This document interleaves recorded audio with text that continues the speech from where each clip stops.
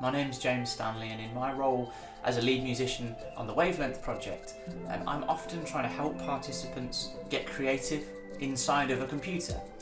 Uh, and so I'm constantly on the lookout for plugins or techniques uh, that will help me to speed that process up and to make it more enjoyable. I'm going to be sharing three plugins that I use in nearly every session that help me to help other people get creative and make music as quickly as possible. This is the first piece of software I would like to introduce you to.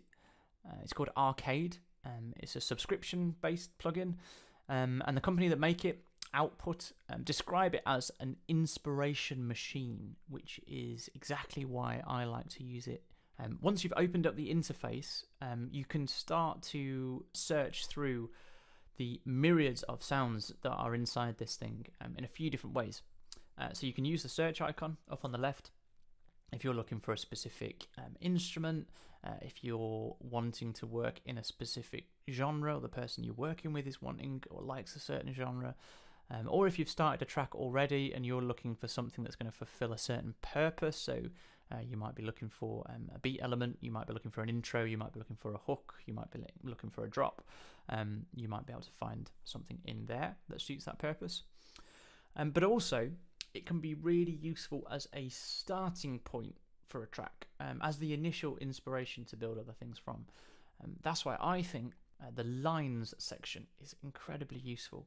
It works out what kinds of sounds um, are going to work for certain purposes and it categorizes them into these lines which are going to be used for the same sort of thing so as we scroll through um, we can see for example we've got uh, beat elements percussive loops that are classified by a frequency range we've got uh, bass lines um, we've got nashville here which is instrumental performances from people from Nashville, um, all sorts of stuff. Um, honestly, there are uh, there's something for every genre in here, so it's worth spending some time digging through and working out what is appropriate for you um, and the people that you're working with. Um, I'll pick up on uh, Aura, uh, one of those lines which I tend to use quite a lot. Um, atmospheric sounds, evolving soundscapes, adding ambient layers to any track. Um, I always like to try and remove silence from a session as quickly as possible. So if we can create some kind of bed to then build on, um, I find that uh, removes a bit of an awkward phase where you have to get that first sound down. And um, Arcade is brilliant for that for me. Uh, so as we scroll through, you can see within those lines, uh, all of these are going to be similar but different. Um, here is, before we've made any noise, one of the greatest things that I think about this. There's some really evocative descriptions for um, all of these sounds. So take this one as an example. Angelic forest, light filters through the settling dust of soothing pads that whistle in wooded hollows. Uh, before you've even made any noise, there's lyric ideas there, there's um, ideas for atmosphere and ambient for a song. What's the story going to be behind it? I find that just in itself opens up conversations in sessions um, and makes it easier to work out what the next idea is going to be. Uh, once you've chosen um, a specific patch that you want to use, um, everything then is going to look a little bit like this. You'll see at the bottom of the screen here, um, we've got samples across all of the white keys. So if I start hitting the white keys, we can start hearing these atmospheric sounds in this instance. Every key is now a separate loop. You hold them down, they'll keep playing, they'll keep looping. You can combine multiple together. Um, and then you'll see on the black keys above, uh, you've got what's known as modifiers. So you can hold down keys, and then these modifiers will reverse sounds, They'll time stretch things, they'll stutter things, they'll add more effects or less effects. They're completely programmable yourself if you want to, but the plugin does a great job at working out what is relevant to that particular patch. So you can normally create some really interesting sounds without messing uh, in the back end of this uh, software, which is great in sessions. Um, there's then um, four different modifiers for all of these that, uh, again, are set up just for that patch, so they're going to be relevant to whatever sorts of sound you're trying to create. What I love about this is it gives um, participants that same kind of instant win um, as dragging loops in that we've probably all done for years. Um, but also with an element of control and an element of playability to be able to manipulate some of those uh, sounds and loops themselves, um, changing the pitch of them, um, changing how you play, moving between them, uh, and playing them quite musically rather than just dragging, dropping, and, and leaving it. Uh, I think for that reason, it's a really, really wonderful tool. So I can record this atmospheric pad. I could then head back to our lines page, this time choosing a distant voices pack, looking for some kind of vocal uh, that might work as a, a melody or a hook. Um, you'll find lots and lots of different styles and genres inside here. All of them are going to be vocal based. Uh, you can spot at the bottom right hand corner, you can sync this uh, to a specific key to make sure that it's in keeping with what you've come up with before. Then I might be looking for something more rhythmic. So I could find the extra percussion line page. Again, I'll choose the first one here, and you'll find that this time uh, rather than pitched melodies, chords, or pads, we've got shakers, rhythmic elements that can be dropped in, tempo sync to a project very, very quickly, still with the ability to manipulate them using the music The second plugin that I would like to talk about is the Labs collection from Spitfire Audio. Uh, now, Spitfire Audio are known um, as a company for making uh, premium quality sound libraries that are used by professionals around the world. Um, with that premium sound quality comes often premium price tags. Many of their sound libraries cost hundreds, if not thousands of pounds. What we have inside Labs is the option of getting some of that quality, uh, but for free. So they release small bite sized chunks of instruments uh, for us to download. As I'm scrolling through here, you can see uh, the kind of variety that is available, and there's more being added all the time. Some of the things are fairly simple um, electric guitars, electric pianos, um, all the way down to things that are very bizarre, like granular whale song, um, atmospheres, moon guitars, all sorts of things.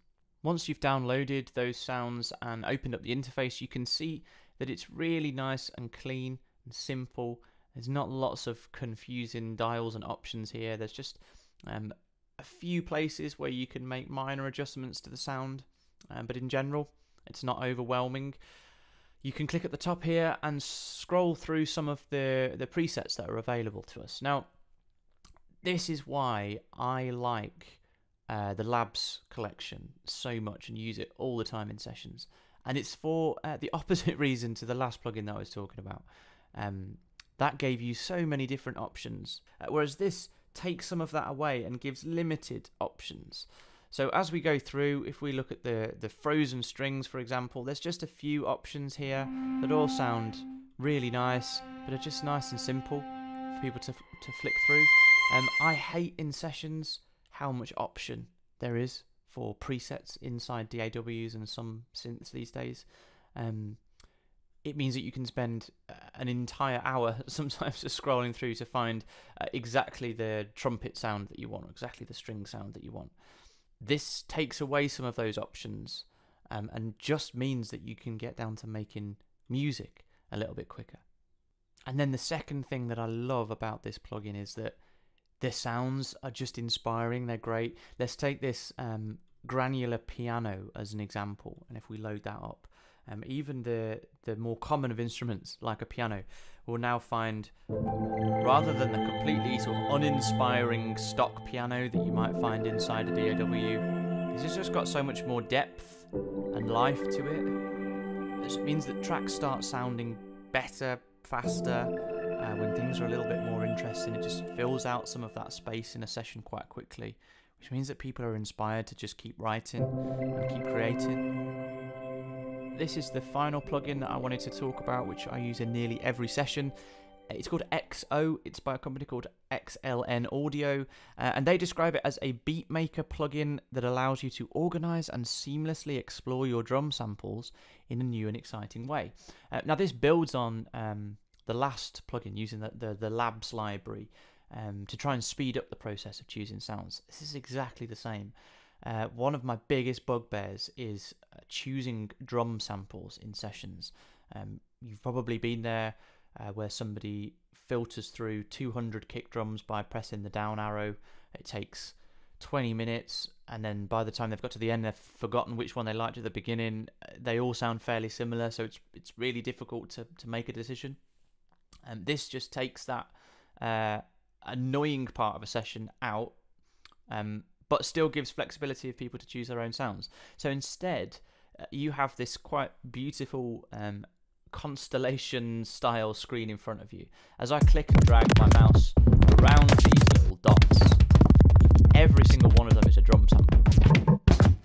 Um, they're all color coded, so red would be kick drums, we've got snare drums over here, blue, purple is our kind of toms percussion sounds, we've got hi hats up here that are yellow, we've got um, cymbals down here that are purple.